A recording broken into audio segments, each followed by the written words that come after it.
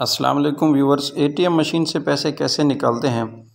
ए, मैं आपको तरीका बताता हूँ। बहुत ही आसान तरीका है, आपने तो जो ध्यान से सुनना है। सबसे पहले आपने मशीन के अंदर कार्ड डालना है। कार्ड के ऊपर छोटा सा तीर का निशान बना उसको देख के आपने डालना है। आप गलत डालेंगे तो मशीन एक्सेप्ट नहीं करेगी। इसके बाद स्क्रीन पे दो ऑप्शन आएँगे कि आप किस तरह पैसे निकलवाना चाहते हैं। यानी अगर आप फिंगरप्रिंट वाले तरीके से निकलवाना चाहते हैं, अंगूठा लगाकर तो ऊपर वाले निशान पर क्लिक करें। पासवर्ड से निकलवाना है तो निचले निशान पर क्लिक करें। इसके बाद आपने चार हिंसों वाला जो पासवर्ड है, आपका जो कोड है, वो आपने डालना है। और वो लिखने के बाद आपने जो ग्रीन बटन लगा हुआ है सब्ज़ रंग का बटन उसको आपने दबाना है। यानी वो एंटर वाला बटन आपने प्रेस करना है।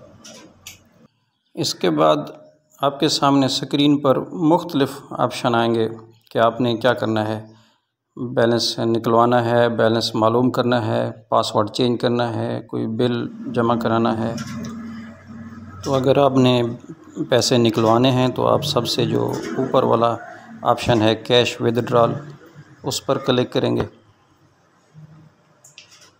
इसके बाद आपने जितना रकम निकलवानी है, वो लिखेंगे और रकम लिखने के बाद ओके प्रेस करेंगे। और अगर आपको रसीद चाहिए तो यस नहीं चाहिए तो नो वाले बटन पर क्लिक करेंगे।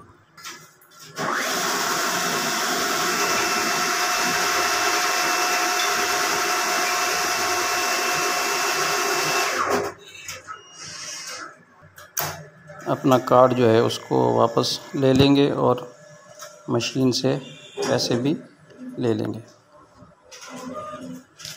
उम्मीद है ये वीडियो आपको पसंद आई होगी।